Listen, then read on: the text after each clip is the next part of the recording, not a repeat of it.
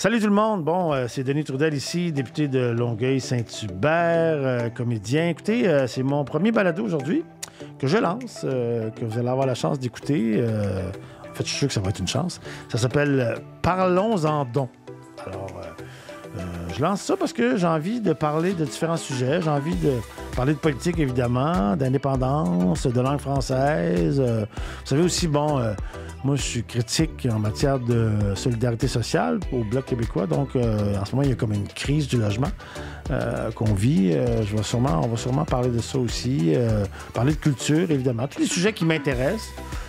politique, évidemment, sans un but de mettre la lumière sur certains enjeux. on va essayer, je vais essayer de trouver des angles qui ne sont pas couverts ailleurs. Euh, qu'on n'a pas l'occasion d'entendre, de lire. Je pense que ce genre de format-là, ça peut donner l'idée d'une façon, en fait, d'aller plus au fond des choses. Enfin, euh, j'ai cette prétention-là d'essayer de faire ça. Fait que je, lance ça, c'est mon premier aujourd'hui. Euh, parlons-en donc. Je reçois aujourd'hui Manon Le Riche, la veuve de, Pierre Falardeau. Pierre, avec qui j'ai l'occasion de tourner. bon, cinéaste connu, pamphlétaire, militant, indépendantiste de la de toute sa vie, en fait, euh, que tout le monde connaît. Fait que j'avais envie d'aller voir un autre côté de Pierre. Euh, avec Manon, d'explorer l'homme, euh, le, mari, le père. alors, c'est ça qu'on va, que vous allez entendre aujourd'hui. Alors, je vous souhaite une bonne écoute dans mon premier balado. Parlons-en donc!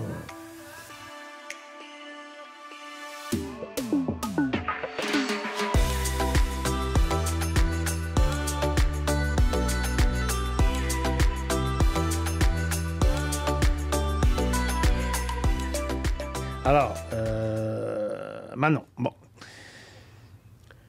Raconte-moi donc, euh, parlons un peu, genre, OK, euh, comment comment comment t'as rencontré Pierre, en fait? Euh, ça marche comment, là? Déjà à souris. comment j'ai rencontré Pierre? J'allais raconter souvent, là, aujourd'hui. Oui, mais mettons que les gens qui nous écoutent, ils ne savent pas. Ils savent pas. Alors, j'étais étudiante à l'UCAM. Et lui, il a eu une seule fois une charge de cours à l'UCAM, donner un cours de cinéma. Je pense qu'il en donnait deux, dans un, le matin et un le soir, et la classe était bondée. Alors, il a été mon prof, mais je pense bien qu'on s'est comme euh, regardé assez vite. Là, à l'époque, euh, il n'est pas connu. Là. Les gens, non. Il avait fait des documentaires à ce moment-là, mais personne ne le connaissait dans l'espace public, là, on va dire. Là. Euh, non, tout à fait. Il n'était pas connu, il était, connu dans le petit milieu du cinéma, là, mais euh, il n'était pas connu euh, du tout du public. Un inconnu, mais il faisait peur aux étudiants. Ah oui, hein? mais c'est-à-dire que je me rappelle qu'il y avait une fille qui avait dit J'avais manqué, je sais pas pourquoi, le premier cours. J'avais dit Ah, ça a l'air de quoi? Elle dit, ben là, il nous a dit, si vous voulez une job à Radio-Canada, vous n'êtes pas à bonne place, dehors. Elle dit, moi, je change de cours. Puis il y avait tout un espèce de fan club aussi, les, les, les élèves. Ben, j'étais dans la même cohorte à l'UQAM que la gang de Rock et Belles Oreilles. Oui. Guy Lepage était là-dedans. Exactement. Alors, il y avait beaucoup d'admirateurs. Euh, les gens l'aimaient beaucoup. Euh, c'était un cours spécial, bien enfumé. Euh, pas juste Pierre qui fumait dans ce temps-là, tout le monde fumait à l'UCAM. Ouais. Pas juste à l'UCAM. Dans, dans ces années-là, c'est 81, 82? Euh, là, ce serait 84. tu vois, moi, je suis rentré à l'École nationale en 83. Et on fumait dans tous les locaux à ah, l'École nationale. tout, le temps, tout, le temps, tout le temps, Alors, donc, on s'est, euh, on s'est aperçu. Puis euh, voilà. je pourrais même dire, je pense que je ne l'ai jamais dit, là, que j'ai eu comme un je trouvais qu'il y avait une tête spéciale, qu'il y avait une façon de parler, euh, il est un peu timide, euh, mais qu'il y avait, quelque chose, qui avait de la gueule. Puis voilà. Puis voilà quoi. Voilà. c'est bien beau, mais qu'est-ce qui est arrivé après? Ah, tu veux avoir tous les détails? ben, pas tous les détails, mais mettons. Mm. donc, vous êtes. Euh, en fait, il me, euh, il me donné rendez-vous. Il me dit Ah, euh, je présente donc son premier Elvis Gratton, le premier cours. C'était comme une espèce de première à la cinémathèque, puis il m'a invité. Puis j'ai dit Ah, ben, je travaille. je travaillais à l'abbé jusqu'à 9 h, comme vendeuse. Puis il me dit Ah, c'est plus tard. Bon, puis finalement, je suis allée voir son film. Puis là, ben, j'étais gênée d'y parler. Fait que j'ai vu le film, j'avais adoré ça, puis je suis partie. Fait que là, il pensait que je n'étais pas venue. Mais le cours suivant, je suis allée faire ma critique de son film, puis il dit Ah, oh, t'étais là! Bon, alors, OK. Bon. c'est comme De notre premier rendez-vous. Oui, voilà. De fil en aiguille. Bon. Puis comment euh, la vie de famille avec Pierre, euh, c'est quand même bon. euh, tu sais, Pierre, il, est connu, là. euh, tu sais, tout le monde le connaît, le Pierre public, euh, le Pierre Falardeau, qui a fait des films, euh, qui a fait des entrevues, Tony Truante, l'homme de controverse. bon.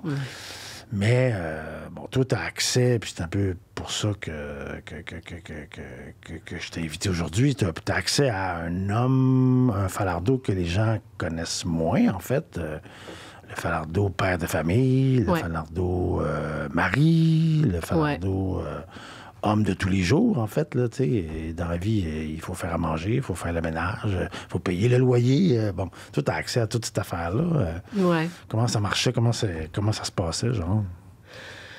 Mon Dieu, c'était un bon, un bon père de famille. Oui. Il était très responsable. Euh, je pense que j'ai ça dans mon livre. Il y a une anecdote, il m'avait dit euh, Ouais, euh, Pierre, sa mère était une très bonne cuisinière, puis euh, Pierre aimait bien manger, même s'il était très mince. Là, et il avait de l'appétit, ce gars-là. là. Il finissait toujours les assiettes de tout le monde. Ah ouais? Ouais. Il était-tu bon cuisinier? Il était-tu bon cuisinier Euh, Ben, écoute, les deux, on savait pas cuisiner. Moi, j'avais dit Ah, ben, je dis euh, Moi, je connais une recette de sauce à spaghetti puis une recette de biscuits que j'ai appris à l'école au secondaire. Au, au secondaire. Ah, là, il avait l'air dépité. Il a dit Bon, ben là, il va falloir que j'apprenne à cuisiner. puis on a appris à cuisiner les deux. Euh, et il était, euh, il était un très bon cuisinier. Il se débrouillait super bien. Puis il haïssait pas ça. Puis on se partageait, je te dirais, quasiment 50-50. là. Les Euh, tâches. Oui, oui, oui. OK. Mais il je pense que c'était lui, le, le- le- le sévère euh, de la famille. OK. L'autoritaire. Ben, écoute, euh, j'ai un souvenir qu'il avait, il avait dû engueuler Jules parce qu'il n'avait pas eu des bonnes notes en maths. Puis je le trouvais... Moi, j'aurais jamais fait ça. Il faisait exactement comme sa mère. Il fallait, fallait que les enfants soient bons.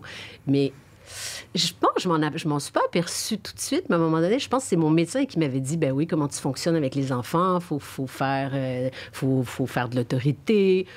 Ben, je dis, moi, je m'en occupe, puis je n'ai pas l'impression que je fais de l'autorité, mais finalement, c'était Pierre qui, qui, qui- qui avait des règles assez strictes. Euh, Les enfants devaient euh, être créatifs, être sportifs, être bons à l'école. euh, mais il était très présent, il faisait des tonnes d'affaires avec eux. euh, malgré que des fois il était super occupé avec ou ses films ou ses controverses.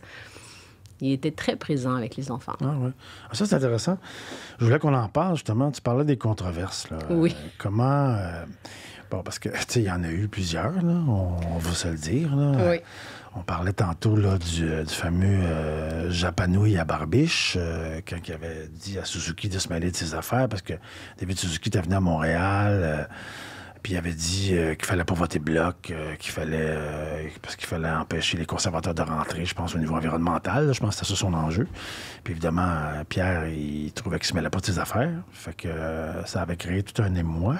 Oui. Puis aussi, bon, quand, ça c'est assez, assez célèbre, quand il avait voulu mettre une banderole au funérailles de Pierre Elliott Trudeau, avec, euh, qui était écrit dessus Mange de la marde. Oui. faut préciser d'ailleurs que ça, c'est intéressant, puis peut-être que pas, tout- pas tout le monde qui le sait, mais quand, euh, pour lui, le Mange de la marde qu'il voulait faire passer au-dessus de euh, la cathédrale Notre-Dame pendant les funérailles de, de, de- de Trudeau, ça répondait au Mange de la marde de Trudeau contre les grévistes Les de Post grévistes. Canada là, Oui. quand il était premier ministre. Là. Oui. Fait que ça avait l'air, pour certaines personnes, ça peut avoir l'air vulgaire, mais lui, il répondait à une À la vulgarité, vulgarité de du Trudeau. pouvoir de Trudeau, de tout, Tout à ça. fait.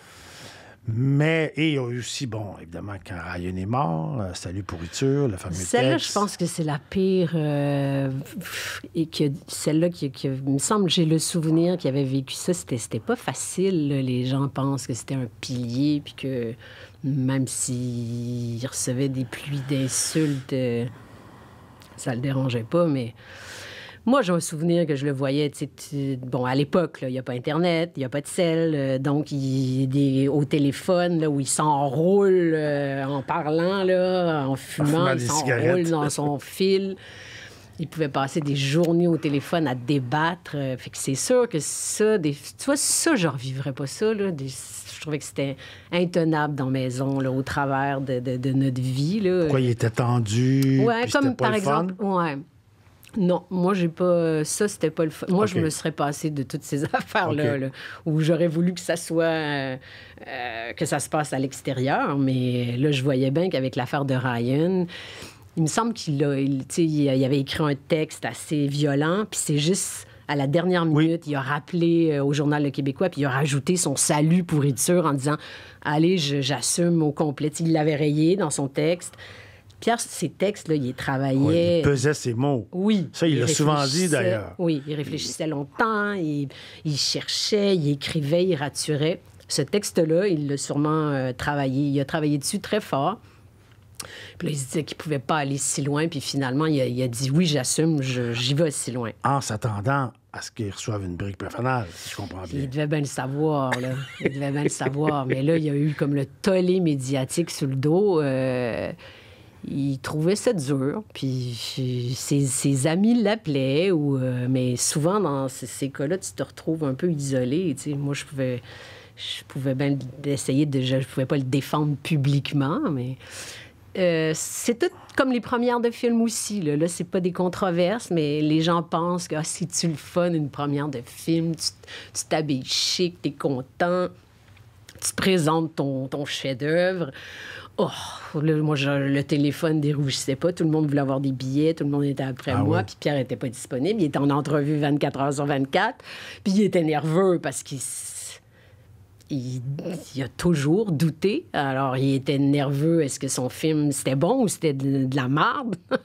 Donc, il- toute cette tension-là, là, j'avais toujours hâte que ça finisse. Bon, on peut-tu aller euh, décompresser? Là? Non, ça, ça non plus, je ne revivrais pas ça tant que ça. OK, OK. Ah, ça, tu parles du doute, là. Ça, c'est une affaire Oui. que je voulais qu'on parle. Oui.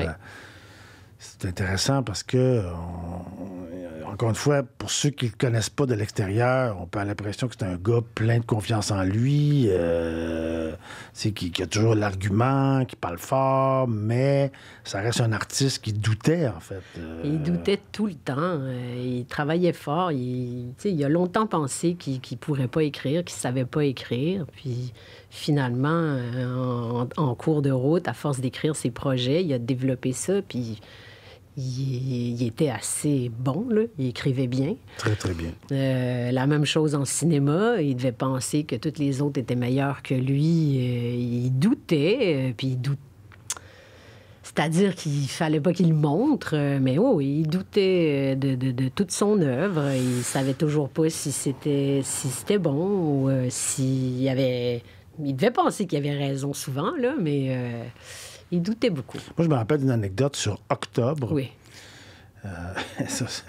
Me- sur Octobre, à un moment donné, tu sais, bon, Pierre, au contraire de d'autres réalisateurs, il n'a pas tourné tant que ça dans sa vie. Aujourd'hui, les réalisateurs, en deux films, les réalisateurs québécois, Denis Arcand tournait des publicités. Ils euh, tournaient tous des les publicités. jeunes, ré- jeunes Ouais. réalisateurs tournent des pubs, donc ils ont des, beaucoup de journées de tournage dans le corps. Donc, ils sont capables de se tourner sur scène quand, mettons, euh, tout ne fonctionne pas comme ils pensent, comme dans leur tête. Ça arrive sur un plateau de tournage, à un moment donné, tu t'avais imaginé que le mur serait là, puis là, il est 10 pieds plus loin, puis ça change tout tes plans de caméra, mettons. Ouais. Ou alors, euh, il, puis il mourit, ou je sais pas trop quoi, là, un enjeu. Sur Octobre, à un moment donné, je me rappelle pas c'était quoi le- l'enjeu, mais euh, ça marchait pas comme il, avait, comme il était supposé. Puis là, il trouvait pas la solution.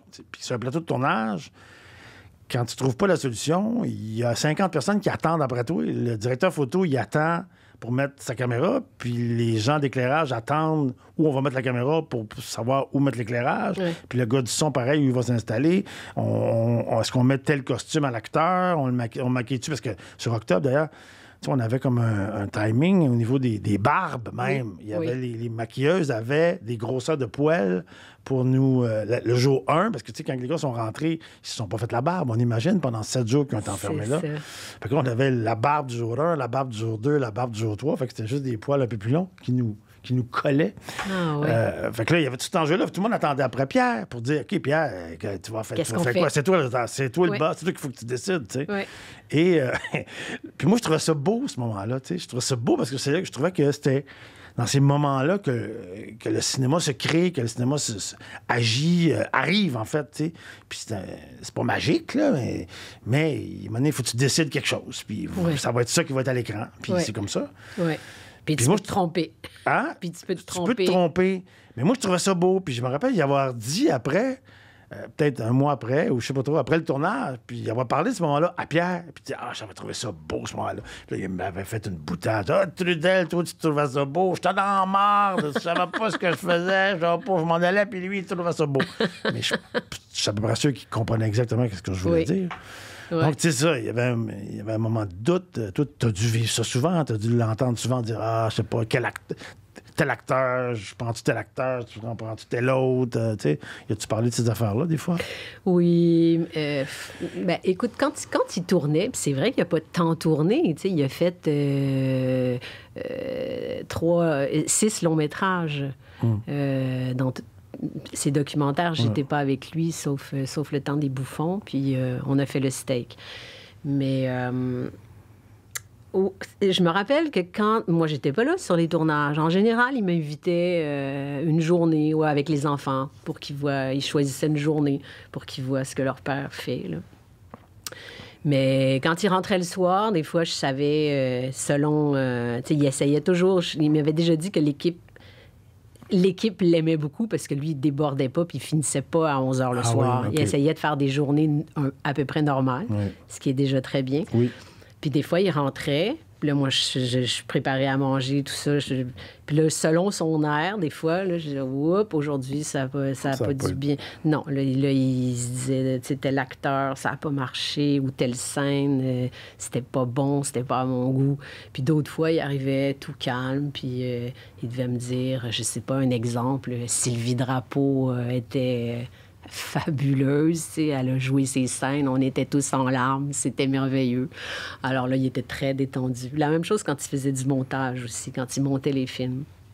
Des fois, il, il bloquait sur, euh, sur euh, des qu'est-ce qu'on enlève, qu'est-ce qu'on coupe, qu'est-ce qu'on met, puis il réfléchissait, puis il se torturait. Puis des fois, selon son air ou selon comment il s'assoyait à table, je disais, ah, aujourd'hui, ça a bien été, puis c'est où il s'en va. Puis d'autres fois, il a déjà raconté que sur Octobre, euh, le film qu'il a tant désiré pendant 15 ans, que quand il a vu euh, les, les- les- les roches, tout d'un coup, là, il trouvait tout. Mais c'est normal, ça, de toujours. un- un- tu le vois tellement, ton film, tu le connais tellement, que tout était mauvais, puis qu'il y avait des doutes, puis il disait Mais là, je me suis complètement trompé. Ah J'ai- ouais, hein? j'ai, travaillé si fort pour faire, pour faire un ratage. Puis là, il faut que tu. C'est ça. On dirait qu'il faut que la pression retombe. C'est. Mais lui, il faut dire qu'il faisait pas des films pour. euh, C'était pas la rigolade, là. C'est-à-dire, il aimait ça s'amuser. Oui. Il aimait ça qu'il sur les plateaux, Oui. ça soit le fun. Oui. Mais euh, il y avait des sujets. Il, il disait toujours qu'il pouvait pas. Il avait pas le droit de se tromper. Ah ouais. Si, si se cassait la gueule, euh, il- c'était fini de, de, de- de ses idées, de, ce- il por- il portait toutes ses idées de, de- de- du pays. Il, il en avait lourd ses épaules, Ah, finalement. Puis il fallait pas qu'il se trompe. Fallait pas qu'il se trompe. Moi, je me rappelle que on avait vraiment l'impression, quand on a fait octobre, de partir en mission Oui. avec le, le capitaine qui nous menait. Moi, j'ai, moi, passé euh, trois auditions hein, à- à- pour octobre, parce que, bon, moi, je, je vais raconter un peu, Oui. c'est intéressant, comment j'ai rencontré Pierre. Parce que c'est important. Bon, je l'ai rencontré à bien du monde, mais c'est quand même important parce que ça explique un peu où je suis aujourd'hui, tu sais. Je pense que j'avais lu quelque part à un moment que dans la vie, tu fais une ou deux rencontres marquantes. C'est quelque chose qui change ta vie, quelque chose qui. Ça peut être des rencontres amoureuses, mais pas nécessairement. là. Des rencontres qui, qui te changent, qui, qui te bougent, qui te traversent, qui te bousculent, ou même qui te révèlent à toi-même. On n'en fait pas des masses, des rencontres de même. Euh, puis tu sais, telle personne, toi, tu peux la rencontrer, puis ça te fait un effet, puis l'autre, à côté, ça lui fait pas d'effet pantoute. Mais moi, Falardeau, ça a comme pas mal changé ma vie, tu sais. Je l'ai rencontré pour la première fois aux auditions du film Le Party. Aux auditions du film Le Party, il cherchait des gueules d'enterrement pour meubler la prison. Tu il cherchait des faces, tu sais. Euh, Pierre, d'ailleurs, il m'a déjà dit, ça c'est intéressant, il m'a déjà dit, toi, Trudel, je t'ai pris parce que t'as l'air d'un fond de poubelle. Euh, ceux qui connaissent Pierre Oui. savent que c'est un compliment. Oui, c'est un compliment. Bon, il, il avait dit à Luc Picard que lui, euh, toi, Picard, je t'ai pris parce que t'as toute la misère du monde écrite en face. C'est beaucoup plus poétique quand même. Oui, Quand même. je trouve qu'il est plus chanceux. Mais bon, moi, j'étais un fond de poubelle. Lui, c'est un, poème. euh, Euh, c'est ça. Donc, aux auditions du party, je sais pas comment je m'étais ramassé là, en fait. Sais, je venais de sortir de l'École nationale de théâtre, j'avais 25 ans, j'avais l'air de 12, j'avais l'air d'un enfant de cœur, j'avais les cheveux roux, je me mettais un bandeau dans les cheveux. C'est puis- ça, t'es un roux. oui, j'étais un roux j'étais un vrai roux. Ça paraît à moi aujourd'hui, mais j'étais un vrai roux. Et je me ramasse là, puis là, j'avais appris, j'avais appris un texte, une scène. Puis quand je suis rentré dans la salle d'audition, il a parti à rire. De moins. Genre, tu sais, comme il pouvait être spontané, là, tu sais, genre, ah, qu'est-ce que tu fais ici, tabarnak, tu sais? On s'était jamais vu, là.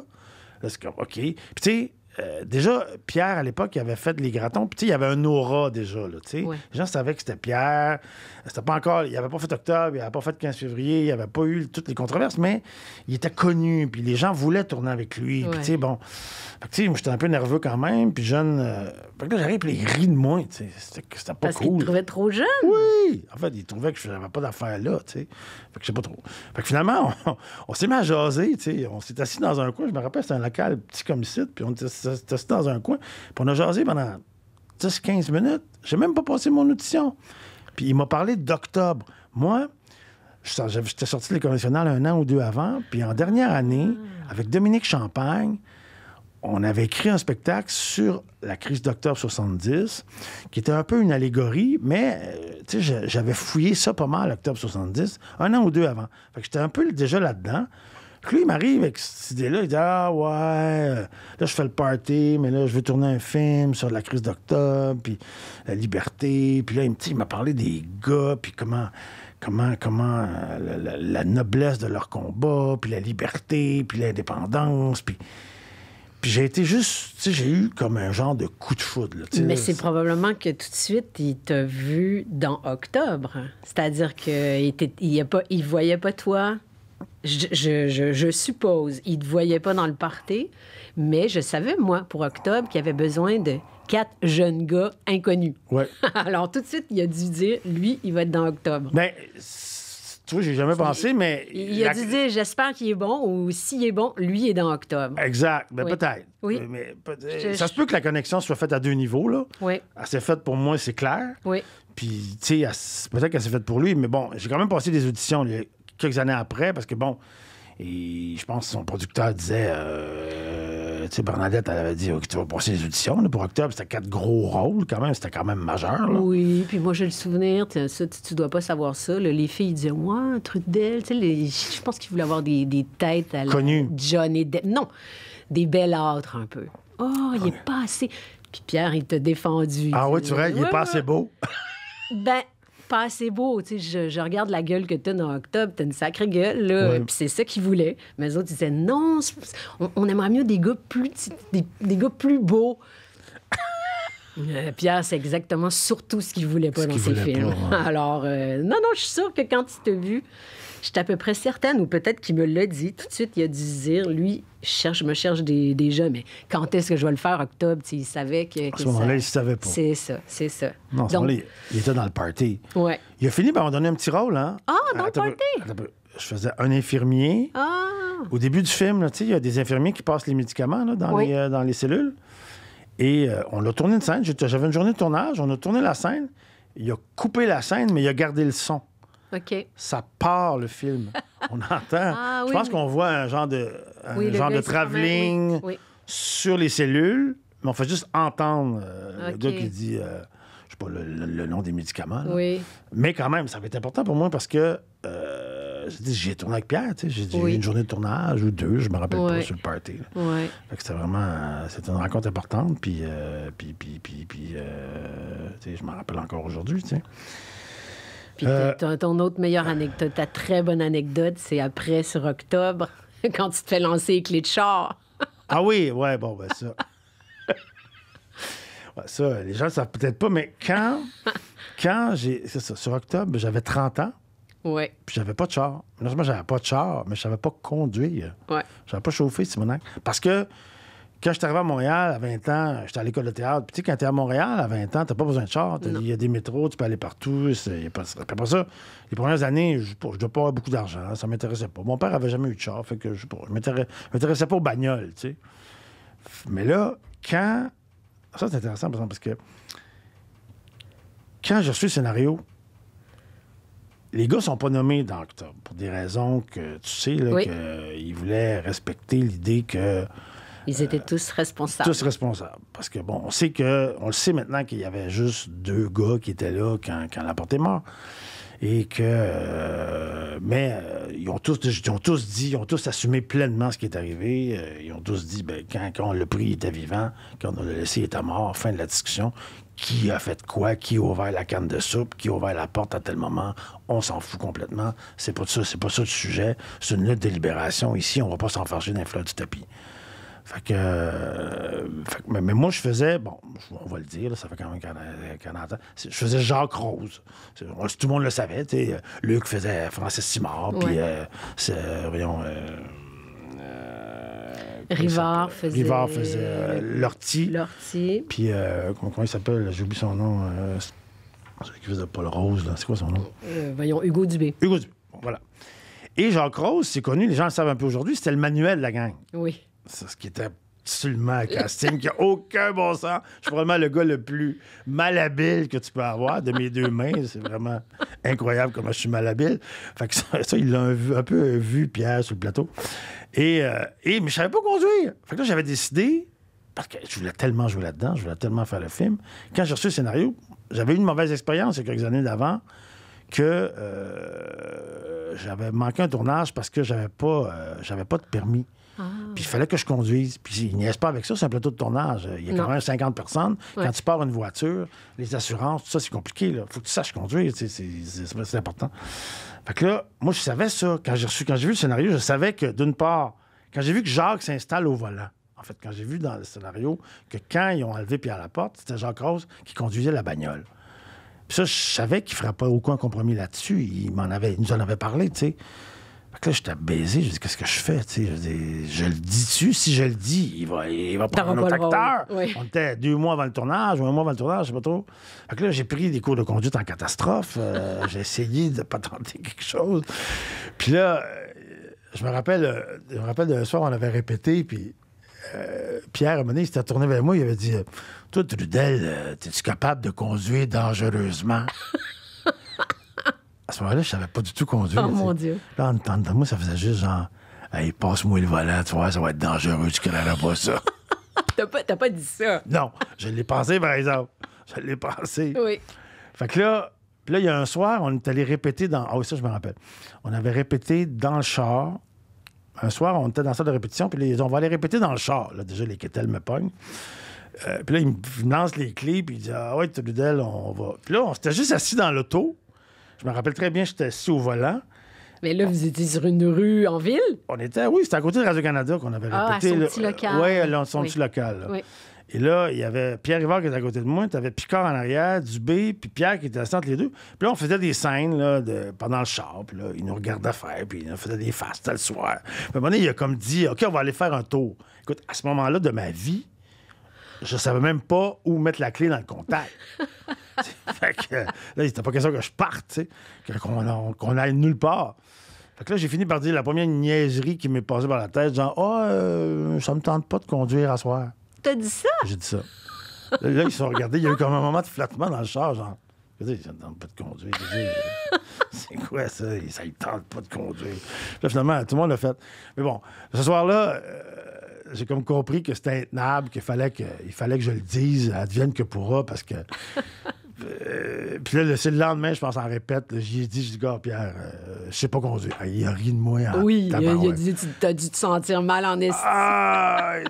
Puis là, quand j'ai expliqué, euh, quand j'ai expliqué euh, que j'avais peur de perdre mon rôle, puis là, il a hurlé dans- Sortez les cassettes! En voulant dire, genre, euh, sortez les cassettes des auditions, on va en choisir un autre. Là. Il m'a niaisé tout le long. Mais ça, ça n'a pas empêché que. Écoute, il a ri de moi, puis il dit, c'est pas Oui. grave, on va s'organiser. Mais à chaque fois que je rentrais dans le char, sur le plateau, il lâchait à tout le monde Tassez-vous, Trudel est dans le char! Ah, ça, c'est Pierre qui disait ça? ouais, il disait ça. Mais c'est parce qu'il y a comme une phrase, je pense, euh, de- sur les plateaux. euh, Attention, membre de l'UDA euh, qui, Ah qui oui. prend des clés. Tu sais, il y a comme des blagues. Oui. les, tous les techniciens rient toujours un peu des scènes de char, d'après ce que j'ai compris. Oui. Oui, mais bon, il me rappelle que. Mais, mais ça m'aidait parce que, comme les gars sont toujours à- sur le bord de la crise de nerfs en permanence, Oui. ben là, ça me faisait juste me rajouter Oui. quelque chose que, Effectivement. j'avais pas besoin de jouer. là. J'étais déjà nerveux moi-même, juste d'arrêter le char au- à la bonne place. C'est compliqué, c'est un plateau. C'est un plateau, faut, je veux dire, il faut toujours t'arrêter à la bonne- C'est très technique, le cinéma. tu sais, Les gens, Ben oui, mais même, je pense, Pierre, il m'avait dit que tu avais suivi tes cours sur une petite auto, puis là, il fallait que t'en, t'en recules une énorme. Ouais, ouais. C'est pas évident. Non, c'était pas évident. Non. C'était pas évident. En tout cas, bref. Euh, oh, je voulais qu'on parle. T'as survécu. J'ai survécu. J'ai survécu. Euh, j'ai survécu quand même. Mais c'est, c'est des moments euh, extraordinaires. Tu sais, on parlait de, de le feeling que c'était. Tu sais, je n'ai tourné des films, j'ai tourné avec des réalisateurs, Oui. j'ai tourné avec Oui. du monde. Mais tu sais, quand tu tournais avec Pierre, c'était comme. Je me rappelle Luc, il avait le même sentiment. là. On s'était dit, Luc Picard, on s'était dit à- avant le tournage comment. Comment. Hey, on voulait tellement pas se péter à la gueule. Puis pour Pierre, tu sais, on voulait, on voulait aller au bout de nos affaires. Puis. euh, c'était vraiment, on s'est donné, on s'est donné. euh, on avait vraiment l'impression de, de revivre un moment important de l'histoire du Québec aussi. Il y a quelque chose d'important. Tu portes quelque chose. Bon, lui, il avait, il, avait supporté ça depuis 10-15 ans, mais nous, euh, on était, c'était nous qui étions dans l'écran aussi au final. Puis, au cinéma, au final, les gens, ils- c'est toi qui vois, puis tu dis que tu veux pas, tu veux pas, tu veux pas manquer ton coup là, c'est important. Non, non, mais il y a, y y un travail de, de- de direction d'acteur, mais vous- je sais que vous étiez dans une espèce de, De bulle. bulle, euh, ah oui. euh, des, pour vrai, fatigué, tendu, cerné, puis ça se voit sur l'écran. Alors, qui est réussi à, à vous mettre dans le bain. Ben, on a été chanceux. L'affaire qu'on a eue, qui était bien importante, qu'on n'a jamais sur un plateau de tournage, c'est que on avait tourné les scènes extérieures avant. Tout l'extérieur, l'enlèvement de la porte et tout, avant, euh, pendant dix jours à peu près. Puis après ça, on est rentré dans les studios de l'ONF sur Côte-de-Liesse, où il avait reconstruit la maison de Larry Armstrong. Et là, on a tourné dans l'ordre, tu sais. Oui. On a tourné euh, De- avant l'enlèvement, après ça, premier jour de l'enlèvement, deuxième jour, tu sais, ça montait. Fait que la tension dramatique Oui. était comme en montée. Au cinéma, t'as pas ce sens-là d'habitude. euh, tout est tourné à l'envers, Ouais. tout est dé- détricoté. Fait que des fois, tu peux tourner une scène finale hyper dramatique, la troisième journée du tournage. Mais ça, c'est Pierre qui a dû décider ça. Il devait vouloir que la tension euh, monte de jour en jour. C'est une bonne question. Je sais pas. Je- Ben, il me semble, parce que aussi, il avait comme pensé, tu sais, quand tu parlais de, de- de Pierre qui réfléchit pour, au mouvement de caméra, puis qui. Il avait pensé se rapprocher de plus en... au début, c'est tourné en plan, euh, plan taille ou plan large. Puis plus la tension monte, plus il voulait se rapprocher de vos visages et de, de- de- de- de- de votre tension. Sauf que là, à un moment donné, il dit, ben là, ça marche pas, ma patente, euh, parce que, parce que justement, là, le- le- je pense l'espèce de mouvement qu'il voulait faire dans la cuisine, fallait faire tomber un mur. Ah oui. Puis il y avait comme, il a, le temps est compté, fait qu'il a dit, là, faut que je trouve une autre idée. Mais euh, c'est sûr qu'il avait dû euh, prévoir ça, euh, que, vous soyez dans la tension de plus en plus. OK. ah, oui, ah oui, je veux te parler de quelque chose aussi. Pierre, il aimait le combat, je pense. Il aimait le combat politique. Moi, je me rappelle d'avoir appelé Pierre le lendemain du référendum, parce que j'avais en, en 95, j'avais pas passé. euh, j'avais fait deux, trois affaires avec lui pendant la campagne, mais le soir du référendum, je n'étais pas avec lui. Puis le lendemain du référendum, j'ai dit, m'a appelé Pierre, on a passé tellement proche, j'ai dit, je vais être déprimé. Puis ça m'avait beaucoup surpris, puis là, j'avais compris quelque chose de fondamental sur Pierre, enfin, que je pense, puis tu peux me confirmer, il n'était pas déprimé le lendemain du référendum. Pas du tout, c'est ce qu'il ce qu'il a dit. Euh, moi, je pense que j'avais dû oublier aussi, mais il y a une entrevue qui existe où il y a le petit dernier, euh, Jérémy, ses genoux, euh, puis comme je l'ai revu, l'entrevue, il dit non, non, non, non, il dit avoir le, pourcentage de gens qui ont voté pour l'indépendance. non, je suis pas déprimé, il faut juste qu'on continue puis qu'on pousse plus loin. Il était. non, il était pas déprimé. C'est plus tard. euh, quand, quand ça, ça piétine, puis qu'on on, les, débats traînent. euh, bon, puis regarde, on n'a pas eu, on n'a pas réussi à revenir à un autre référendum, ou en tout cas, on n'a toujours pas réussi. Fait que des fois, c'est long, mais le lendemain, non, il était pas, euh, il était pas déprimé du tout, puis il pensait qu'on était passé tellement proche que, que, que, que c'était pour être peut-être pas loin, qu'on réussirait, là. Mais il passait par des phases de doute. tu sais, Moi, Oui. tu sais, comme dans un très mauvais ami. Oui. Tu sais, tu lis les lettres, puis sais, il y a une lettre où il est Hey, je suis de bonne humeur, euh, j'ai appris que euh, ça va marcher tel film, mon tel projet abouti. Ou alors, tu as le contraire, tu dis bah, Ça fait deux mois que là, je me suis fait encore refuser un autre projet, je suis fatigué, j'en peux plus, je pense m'en aller euh, vendre des chaussons ou des souliers chez Yellow, ça va être plus noble, j'y arriverai jamais, je dois, être Ouais. un, je dois être un pas bon, je dois être. Bon, c'est un peu normal de, de douter quand tu es artiste, mais, mais dans les lettres, d'ailleurs, c'est un très bon livre, là, ceux qui. euh, ceux qui euh, il est-tu ici quelque part? Attends. Un très mauvais ami, il me semble que tu l'avais apporté.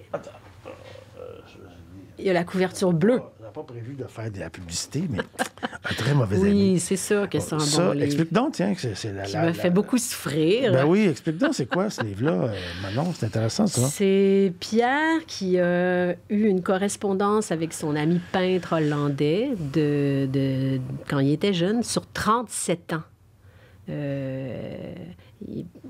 peintre qui avait rencontré euh, comment? Euh, avec son, il y avait, Pierre avait un ami forgeron français qui était venu, euh, Jérôme Champenois, qui était venu étudier la forge. Et Pierre était étudiant en anthropologie, puis il l'a croisé, euh, puis il avait fait un travail sur lui. Fait qu'il est devenu ami avec son forgeron. Puis le forgeron, il a présenté euh, le peintre hollandais qui allait toujours en France. Il devait être dans les mêmes marchés d'art. Alors, il a, il a- il a rencontré Léon, puis euh, ils se sont tout de suite entendus, puis ils sont... ils C'est sont Léon, comment son nom? C'est quoi Léon? Spirenburg. Léon Spirenberg. OK. Euh, donc, euh, moi, je connaissais. Je, je- écoute, Léon, il n'a jamais voulu prendre l'avion puis venir chez nous. Il n'est jamais venu en Amérique. Pierre allait le voir. Il allait, il allait y acheter des toiles. À chaque fois qu'il recevait un prix. Euh, Qui, a- qui avait un peu d'argent. qui avait un peu d'argent. Il allait acheter et une il toile à Léon. Il allait en Europe où il allait chercher le prix, puis il passait par chez Léon, puis il revenait avec une toile. Bon.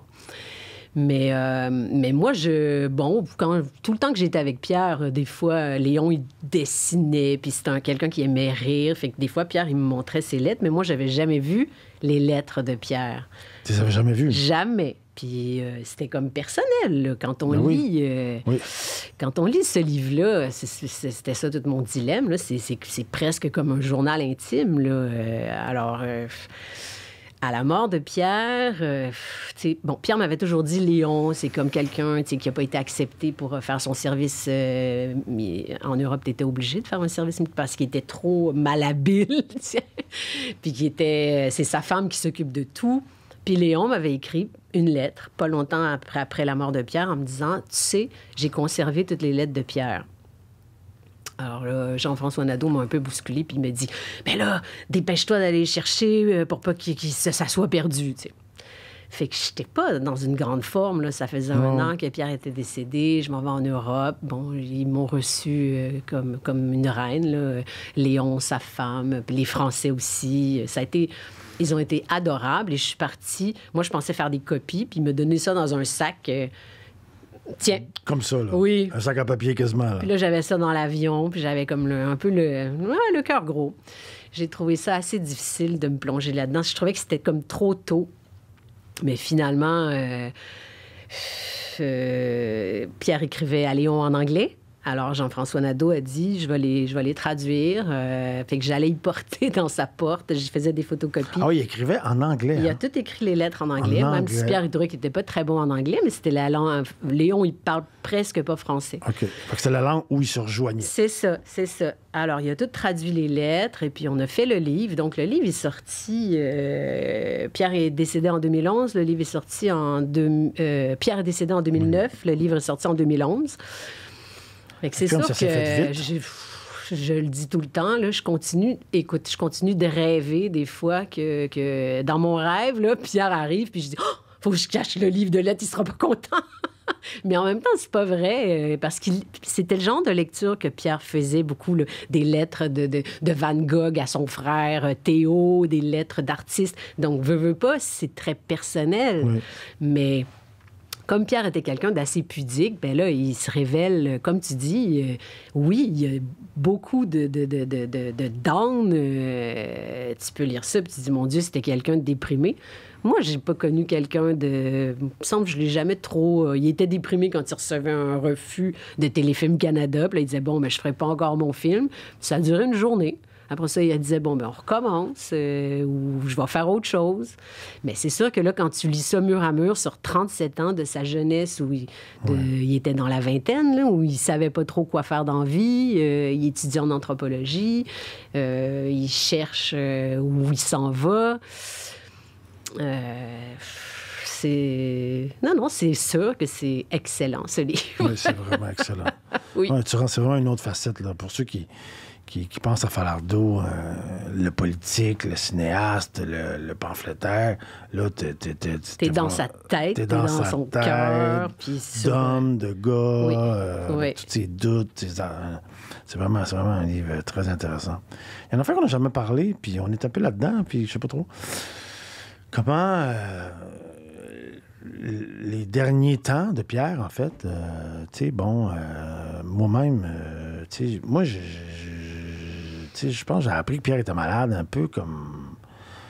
pendant la, dernière année, je pense pas de l'avoir vu. Euh, je pas la dernière fois qu'on s'est vu, en fait. Euh, ça devait être un lancement de livre. Il n'a pas lancé. Euh, oui. Quel a lancé Rien n'est plus précieux que la liberté et l'indépendance. Il était déjà malade à ce moment-là? ben, Bien sûr. Il, était, il, a dû il, a dû mourir six mois plus tard. OK. Mais quand on le rencontrait, ça paraissait pas. Euh, il y avait euh, une façon de, se tenir. Je me rappelle qu'à ce lancement-là, il avait l'air parfaitement euh, normal. Sa dernière apparition publique, c'était le prix Pierre Bourgault. Là, tu vois qu'il était comme amaigri parce qu'il y avait eu des traitements de chimio puis tout ça. Ah oui. Hein? Et il était faible. Il était faible. Je, je, je, me prenais pour sa garde du corps un peu. Là, à chaque fois que il, il, sortait plus beaucoup, mais il n'a pas été. Bon, qu'est-ce que tu veux savoir? Tu veux savoir comment ça s'est passé la dernière année? Oui, mettons. Euh... Des fois, j'essaie de plus penser à ces moments-là. mais... Ben, écoute, je sais pas trop. Non, non, non, non, je peux. Euh... J'aurais pas pensé à aller là, là. Si tu veux pas y aller, on. Non, on, on, peut y aller. Euh... Écoute, je te dirais que c'est sûr que moi, j'ai vécu toutes des choses que les gens savent pas c'est que peut-être, tu vois, il est mort à 62 ans, puis c'est peut-être vers 59 ans qu'ils ont commencé à y faire comme des tests euh, normaux. de, le docteur dit Ah, ben là, il faut que tu passes ci, il faut que tu passes ça. Alors là, euh, à un moment donné, euh, Pierre, il, sentait qu'il y avait quelque chose. Là, il y a eu le, le cancer du rein. Et donc, il y, a eu des, il y a eu des traitements, tout ça, mais Pierre, il voulait pas en parler publiquement. Contrairement à aujourd'hui, maintenant, là, on dirait que c'est comme, euh, je sais pas si les, les, les, gens célèbres décident, ah ben là, je me retire, je suis malade, puis ils l'annoncent. Dans ce temps-là, ça se faisait pas, il me semble. Puis lui, il avait décidé qu'il voulait pas, pas tout dire au monde qu'il, avait, qu'il était malade. Il voulait pas en parler. Alors, moi, mon seul problème, c'était, euh, mettons, quand on a, fallait que je l'accompagne souvent à l'hôpital euh, pour des traitements. Il faisait de la chimio? Il a fait de la chimio, il a fait, ils, ont, traité, oui, il a fait de la chimio, puis pour, pour, euh, pour après, ça a été fait enlever le rein, ils ont, sont allés jouer dans sa vessie. Donc, il fallait toujours que je l'accompagne tu rentres à l'hôpital avec euh, Pierre Falardeau qui s'assoit dans une chaise roulante, puis là, t'as comme 12 personnes. Oh, Monsieur Falardeau, comment ça va? fait que là, Pierre disait toujours, ben, si ça, allait, bien, je serais pas ici. Ah fait que là, moi, il fallait que je circule là-dedans au travail. Fait que j'ai toujours eu l'impression que je faisais un peu la, garde du corps pour, euh, pour euh, essayer que les gens. À un moment donné, ils l'ont hospitalisé une semaine pour y faire une série de tests. Mais tu sais, quand tu arrives à l'hôpital, t'as pas il n'y avait pas une chambre privée.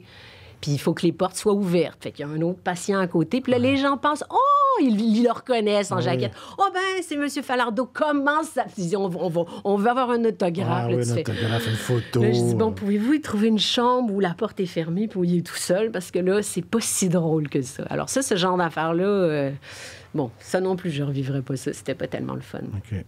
Mais... Euh, Sinon, ben, je dirais qu'il a été comme euh, très. Euh, on, a, on a fait tout plein de voyages, tout plein d'affaires qu'il voulait faire. il y avait, on avait toujours espoir qu'il s'en sortirait. Moi, je, moi, en tout cas, je me disais qu'il fallait que je pense ça, sinon euh, je m'en serais pas sorti. Ben fait qu'on a fait plein de choses, puis c'est peut-être les, les, les, derniers trois mois où il était vraiment en mauvais état. Euh, plus faible. Il était à la maison à ce moment-là? Il a été à la maison jusqu'à la la fin. Même si euh, les médecins voulaient que je leur donne. J'ai dit non, non, non, il est très bien ici, on se débrouille très bien. Quand il est rentré à l'hôpital, et il est mort euh, six heures plus tard. OK. Alors, je sais pas si c'était une bonne idée. Là. Moi, j'avais comme le mandat de un peu de le protéger ou de. de- on, on a un peu gardé ça secret. C'est pour ça que tu l'as pas su. Hmm. Non, exactement. Il a dû parler à quelques-uns de ses amis. Les dernières semaines, il les a appelés. Puis là, c'est parce qu'ils me l'ont dit, mettons René Boulanger, ou euh, ah, il m'a appelé. Là, c'était comme pour me dire adieu. Il devait bien savoir euh, les, les dernières semaines, mais on savait pas quand il allait mourir. Bon, c'était. Non, c'est vraiment pas des moments si fun que Non. ça. Puis avec les enfants? Ah, ben les enfants, ils ont été charmants. Il y avait quel âge, en fait, tes enfants? Mettons, dans Euh, la c'est dernière Jérémy année. qui était ado, 14 ans. Les deux autres étaient dans la vingtaine. Mais pour Jérémy, c'était tough, là. Euh, C'était pas le fun. Hmm. Non. Alors, non, c'est... Puis après, parle-moi donc d'après, mettons, là, justement, tu sais, quand Pierre est mort, moi, je me rappelle, j'étais à l'église, puis tout le monde Ah était oui, là, ouf, puis c'était intense, là, tu sais, c'était comme, tu tout, tout le monde politique était là, les médias. C'était comme des funérailles nationales. C'était comme des funérailles avec tous- nationales. Tous les politiciens. Puis je me rappelle, le- le- le- à la sortie de l'église, tu sais, le- c'était- il y a eu comme un moment très, très particulier là, où tout le monde était comme resté là, euh, sur la rue Rachel. Moi, j'étais dans l'escalier, puis je me rappelle, il y a eu comme un moment là où. Tu sais, c'est comme si les gens se disaient, ça n'a pas de bon sens ce qu'on vient de perdre là, puis il y a quelque chose qui se passe, puis en souvenir de lui, il faudrait qu'il se passe de quoi comme maintenant, puis je me rappelle, tu sais, il y avait beaucoup de gens... euh, Oui, c'était assez euphorique. Les gens tapaient sur leur Exact, banc, exact. applaudissaient. Mais Oui. moi, ça, c'est c'est tout flou. Je, je, je, je me rappelle pas de grand-chose. Puis j'ai pas trop... J'ai pas osé aller regarder ça, là. Ben, moi, sais, je me rappelle, il y avait un feeling genre, OK, euh, qu'est-ce qu'on fait pour avoir le pays demain? Là, Ouais, euh, ouais. faut pas que ça reste vain. là. Pierre est parti. Il Ouais. faut que ça arrive. faut qu'on continue le combat. C'est trop important. On vient de perdre un des, un des meneurs, un, des, un, un de nos meilleurs. Euh, il faut qu'il faut, qu'il faut que quelqu'un reprenne le flambeau. Ça va être qui? Il y avait comme un genre de feeling très, très particulier dans la rue, là, à la sortie de l'église. Je me rappelle très bien. Ouais. C'était. C'était. C'était. c'était, euh, C'est ça.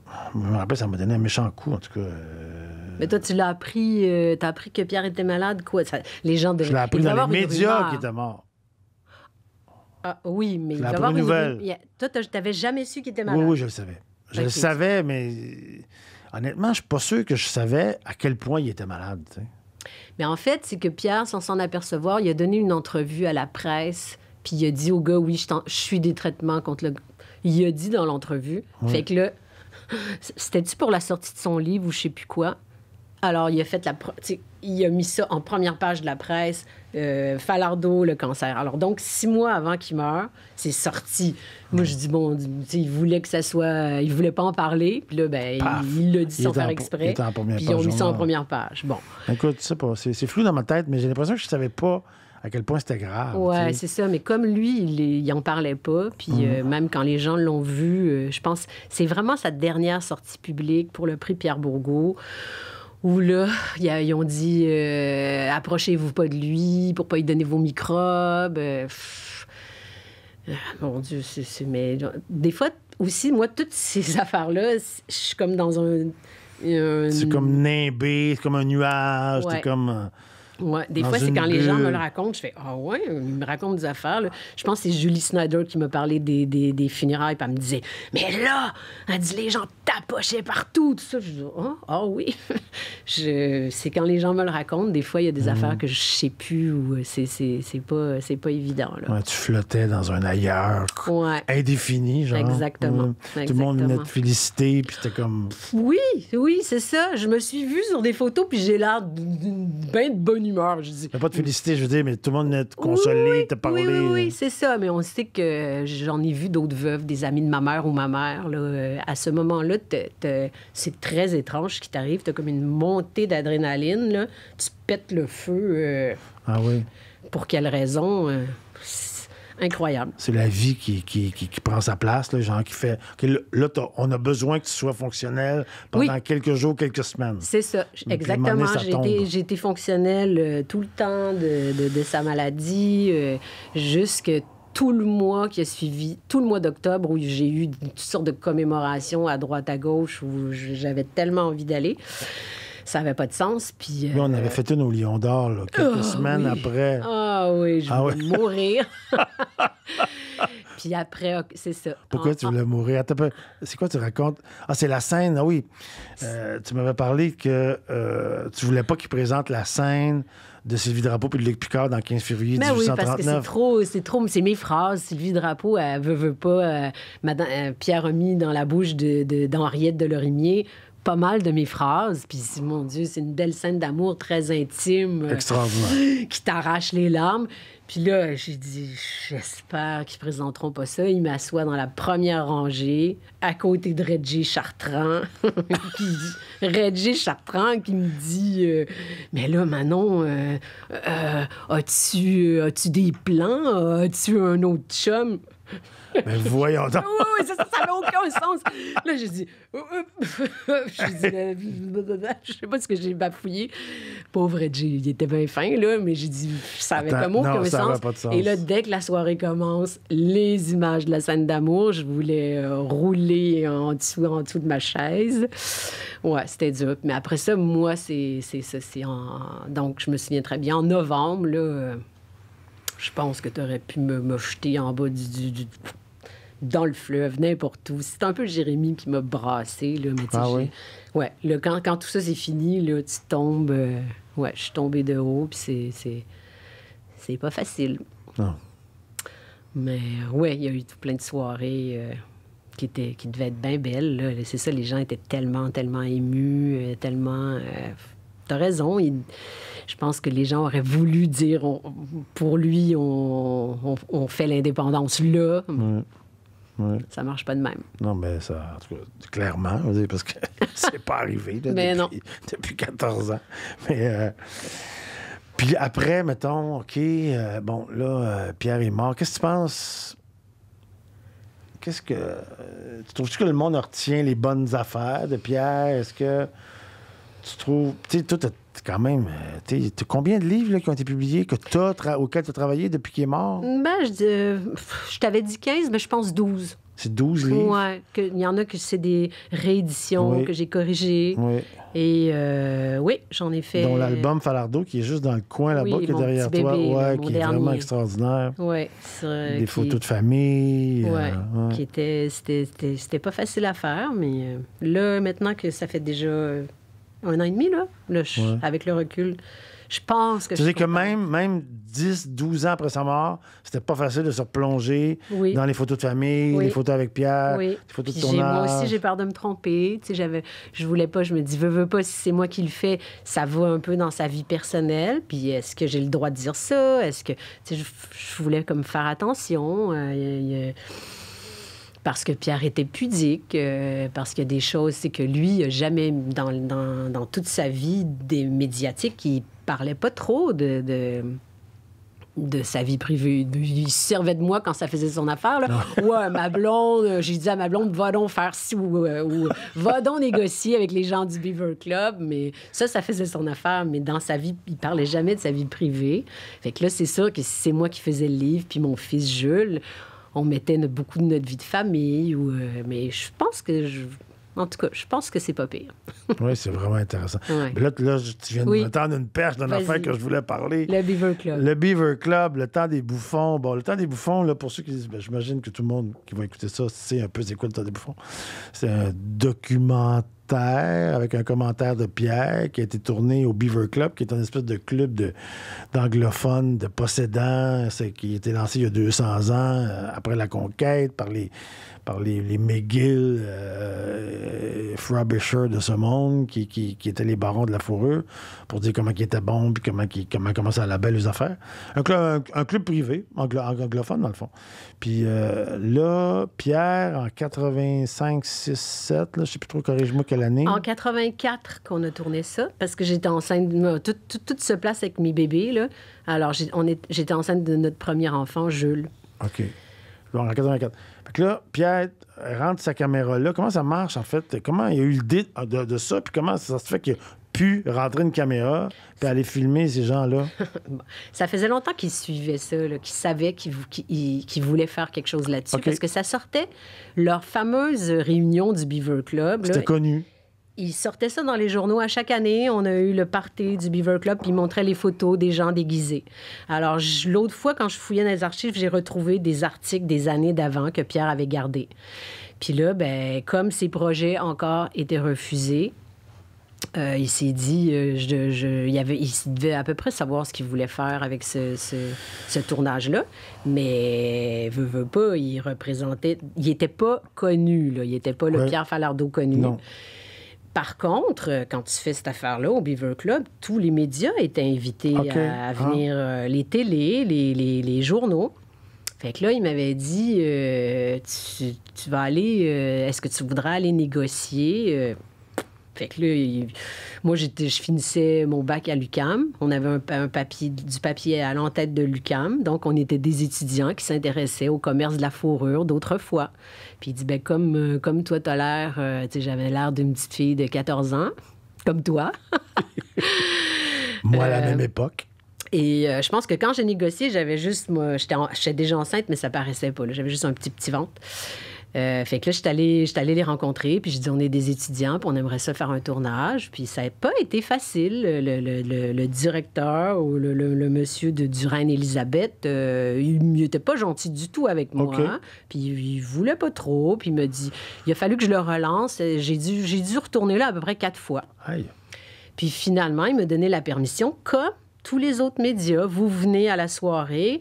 Euh, là, je me rappelle plus s'il nous avait dit qu'il fallait qu'on parte après un certain moment ou, si- ou il contrôlait pas ça. là. parce que, mettons, j'ai déjà été un petit peu reporter, là, puis quand tu, tu vas voir un show, un gros show, mettons Santana, ben, tu as droit d'aller assister avec ta caméra aux cinq premières minutes.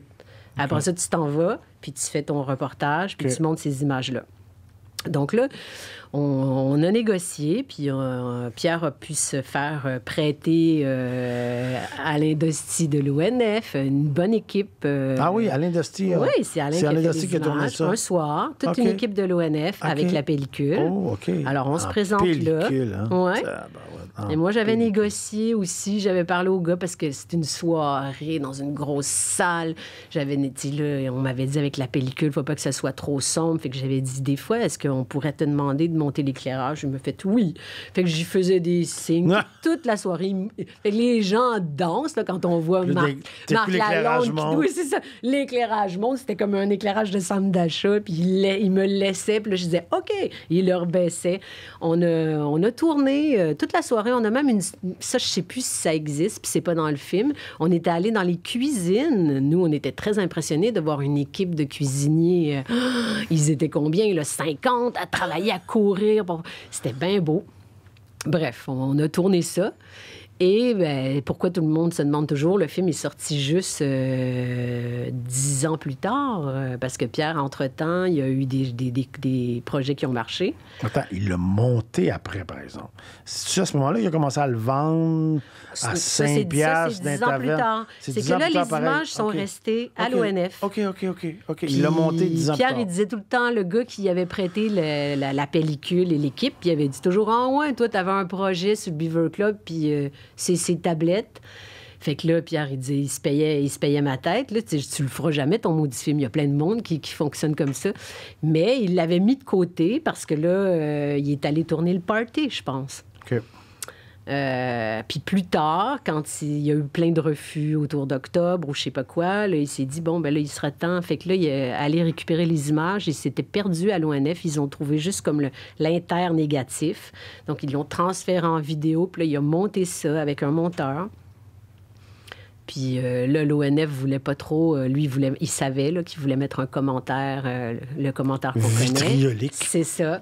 Alors, Pour le moins. L'ONF a dit, là, nous, on peut pas faire ça. Fait qu'il a dit, ben garde, on te donne ton film, tu sors, faut, faut pas qu'on soit associé à ça. Puis qu'est-ce que tu penses que Pierre a fait avec les techniciens? Il dit, je suis rentré par la porte d'en arrière. Puis là, j'ai fait, j'ai enregistré ma narration dans les gros studios de l'ONF. Et après, il a fait les copies de son film qui, qui, qui Des pensait- cassettes VHS. Les cassettes VHS qui, sur laquelle était écrit euh, Ce film appartient à tout le monde, donnez- donnez-le, copiez-le, parlez-en, euh, Pierre Falardeau. Bon. Comme une bouteille à la mer. Oui.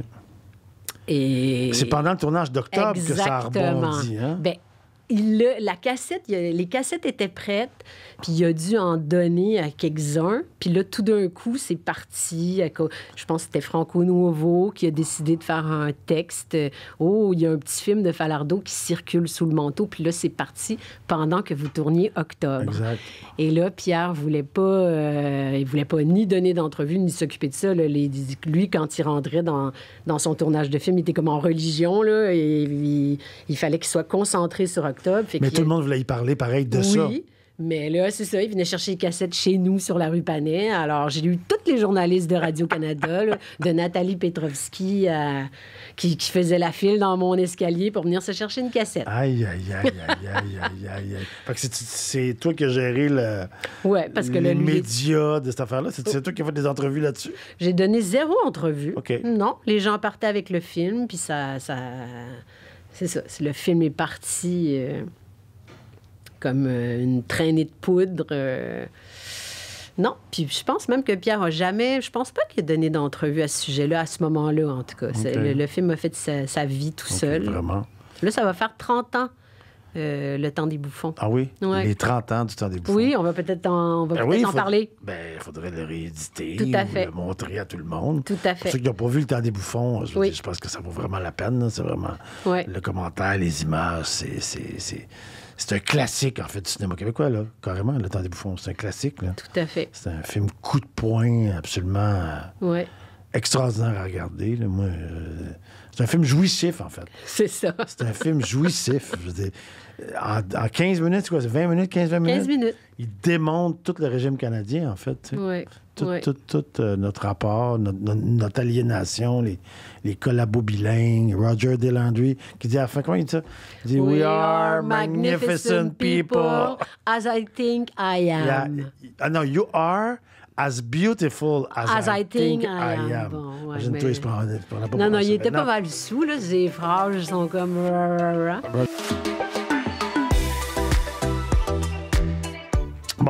Pierre, un artiste, Pierre, un politique, est-ce que c'est indissociable? Est-ce que, moi, j'ai envie de te poser ça. Est-ce que, qu'est-ce qui était le plus important pour lui? Tu sais, Pierre, bon, il voulait, comme tout le monde qui faisait des films, il voulait que ses films marchent, il voulait que les gens aiment ses films, il voulait que les gens euh, l'aiment en tant que cinéaste, mais ses films sont politiques. Euh, à, ton avis, c'est-tu l'artiste qui est le plus important pour lui ou c'est le politique? Tu sais, si on y avait dit, genre, tu feras plus jamais de film, mais tu vas pouvoir, euh, tu vas pouvoir, euh, tu vas faire de la politique toute ta vie, tu vas faire du militantisme, est-ce qu'il aurait été heureux? Ou si on avait dit, tu vas... Bon, si on y avait dit, tu vas faire juste des films qui parlent pas de politique, je pense pas qu'il aurait été heureux, il n'aurait pas pu faire ça, en fait. Mais j'essaie de voir, est-ce qu'on peut séparer... Est-ce qu'on peut séparer le, le- le- le- le militant de l'artiste? Penses-tu qu'on peut faire ça, Pierre, ou si les deux sont entremêlés tout le long? Ouais, c'est c'est une bonne question, là. Il- Non, non. Ce qui était important pour lui, c'est de, de dire euh, quelque chose de, de son message.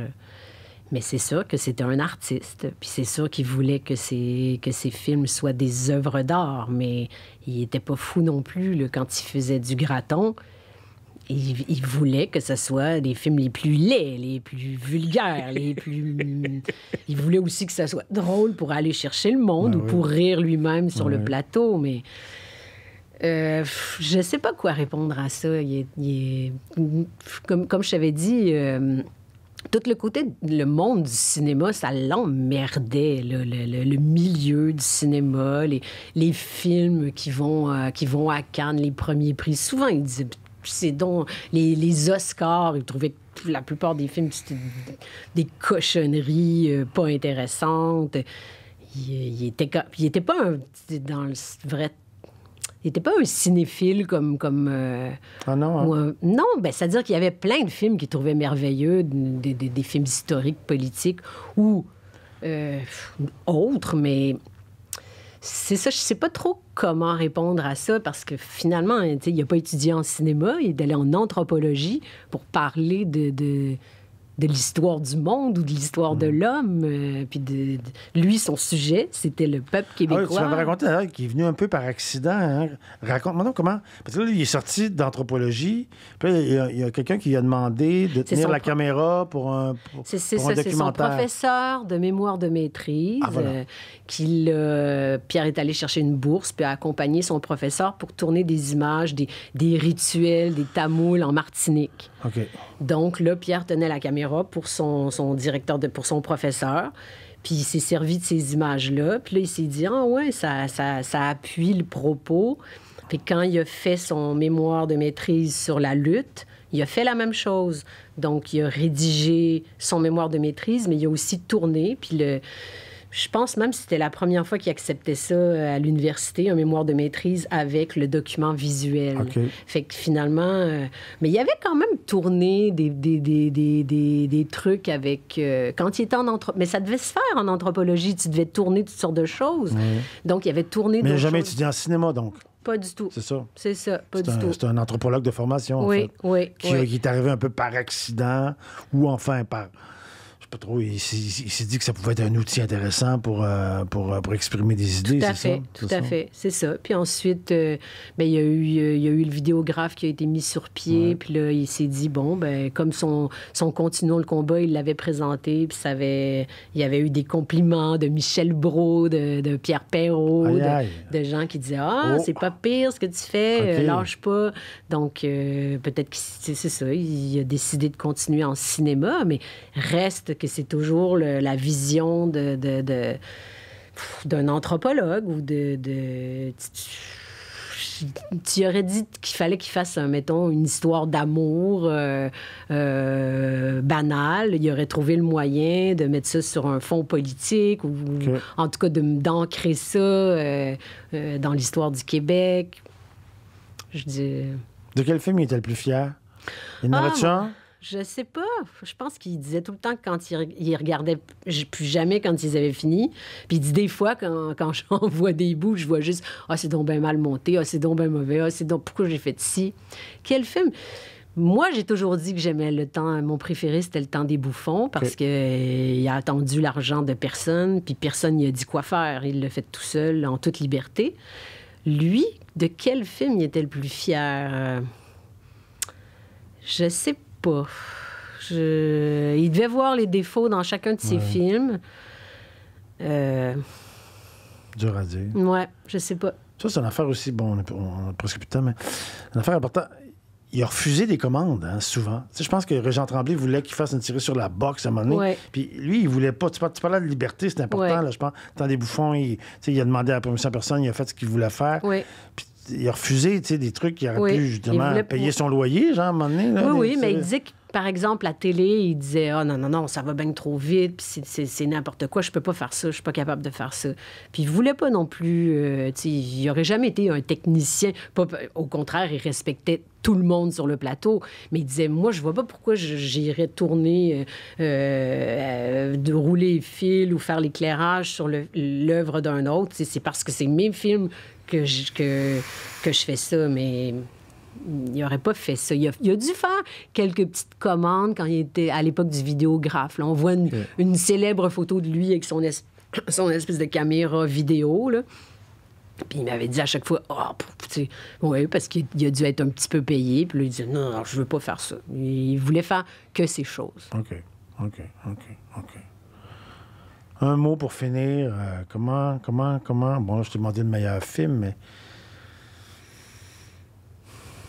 Trouves-tu que les gens ont la bonne perception aujourd'hui de... de ce qu'était... Comment... Qu'est-ce qu'on retient, en fait, de Pierre aujourd'hui? Même moi, je me suis jamais posé cette question-là, euh, qu- 14 ans plus tard. Tu sais, parce que j'ai parlé à quelques personnes que je faisais ça, puis même hier, j'ai publié quelque chose, sur- j'ai juste mis une photo d'un livre, puis là, j'ai fait, ah, on, a- on travaille sur quelque chose. Puis les gens sont, vi- viennent vite énervés, tu sais. C'est Falardeau, tu sais. Il y avait Oui. juste la photo d'un livre, peut-être l'album Falardeau, puis il y avait la photo de Pierre. Puis là, oh, ouais, ouais, c'est Pierre, tu sais. Il y a beaucoup de gens qui sont Oui. très Oui. très fan, très. Euh, tu sais, je sais plus combien de fois, là, je fais des commentaires des fois euh, euh, politique, ben souvent, en fait, euh, dans, sur les réseaux sociaux. Puis là, les gens, oh, on s'ennuie de Falardeau. Ouais. Puis il me semble que... Ouais, c'est ça, comment tu penses les, les réseaux sociaux aujourd'hui, tu sais, Twitter, Facebook, comment ils se démerderaient là-dedans? Ils haïraient de ça ou tu penses qu'ils seraient dans le milieu de ça? J'ai aucune. Dur à dire, hein? Il, il- je- il trouverait que ça va trop vite. là, Ouais. quand une Déjà, lui qui en a vécu des controverses, là, euh, là ça déboulait, mais. Là, c'était pas juste un clic. Là, dans ce temps-là, il n'y avait, pas- il y avait pas de clic de Non, il quelque y avait chose. pas de clic de rien, C'est ouais. ça. Fait qu'il fallait, fallait parler au téléphone, fallait qu'un journaliste écrive, fallait qu'une euh, euh, le caméraman de- de- de- de- des nouvelles de TVA arrive. J'ai aucune espèce d'idée. Il, a pas, il, il était pas, il était pas sur Internet. Là. Ça- Il avait pas, il y avait pas de téléphone. Le, le téléphone cellulaire était même Puis pas. l'apogée de Facebook, c'est après qu'il soit, euh, qu'il soit décédé, je pense, en 2009. euh, de- de- Facebook, c'est 2006, je pense, si je me Ouais, rappelle bien. ouais. Ça commençait, ça Ouais. bredouillait. C'est sûr qu'il y aurait peut-être, euh, par exemple, le temps des bouffons. Euh, si- Ça aurait pu être diffusé sur c'est Internet. ça. Ouais. S'il l'avait fait plus, plus tard, c'est co- c'est comme ça. Ah, il ouais. est- ça Alors aurait pu devenir viral. Oui, c'est ça. Peut-être qu'il mettrait des choses sur Internet puis qu'il serait, qu'il dirait mais c'est fantastique. Ouais. Tu, les gens ont ça dans leur poche déjà, dans leur téléphone, dans la minute. Ah. Ils trouveraient sûrement ça dans un sens très bien, mais tout l'autre côté euh, lourd de, de, de- de- Peut-être qu'il ferait des clips, justement, de deux minutes explosifs, puis il aurait eu l'idée de faire ça, puis il dit, moi, me servir de ça. Dans le fond, ce qu'il voulait, Pierre, c'est que ses affaires soient vues. Exactement. Que le message porte. Exactement. Il, pourrait il aurait trouvé des façons euh, punchées pour euh, faire des petites clips, pour euh, envoyer des Mais c'est messages. ça qui serait content là, de savoir que les gens ont juste à taper sur leur ordi ou sur leur téléphone le temps des bouffons puis qu'ils peuvent l'écouter. C'est sûr. Et il dirait, C'est fantastique. Puis la même chose avec tous ses films, avec toutes ses entrevues. Lui, il voulait, il voulait dire quelque chose. Exact. puis- alors, Il voulait que les gens. que ça, que ça arrive dans, dans la face du monde. hein. oui, mais en même temps, ça dérape tellement que je, là, je peux pas. Peut-être qu'il aurait trouvé ça épeurant. Je, je, je, je sais pas. Moi, je me disais, mon Dieu, euh, il, aime- il aimait travailler la direction photo de ses films. Puis là, euh, tout d'un coup, tu regardes le monde qui écoute un film euh, gros de même sur son téléphone. Tu te dis, ben là, quand même que tu auras un décor fabuleux, un éclairage extraordinaire. T'as plus rien, là. Fait que c'est plus la même chose, là. C'est plus, c'est plus le grand écran. Mais... Écoute, il y a pas, euh, il, il ta- il tapait pas à la machine, il tapait pas à l'ordinateur. Il, il est allé lire quelques recherches euh, pa- quand il faisait Sur Internet? Ouais, sur Internet, mais euh, Mais il n'a pas connu ça. en fait. non, Il pas non, ça, mais il détestait. euh, à- déjà, les gens qui, qui avaient leur sel, c'était pas aussi présent qu'aujourd'hui. Mais il trouvait qu'ils voyaient des gars dans leur auto avec leur téléphone. Il trouvait que c'était. ça l'énervait, comme si c'était des, des- des riches hommes d'affaires qui décidaient. Mais bon, il n'y aura pas. il n'y aura pas vu ça vraiment. Il n'y aura pas connu ça. Non, non. Manon, merci. Bienvenue. C'était super. Je sais pas. Oui, moi, je suis très content. C'était Bon. bien, bien, bien, bien le fun. Merci. Alors, écoutez, c'est mon premier balado. Euh, on ne sait pas tout ce que ça donne, mais on va lancer ça dans l'espace public. Alors, entretien avec Manon le Riche, la, la veuve de Pierre Falardeau, il faut bien le dire. Alors, euh, merci tout le monde. Bonne journée. Merci, merci.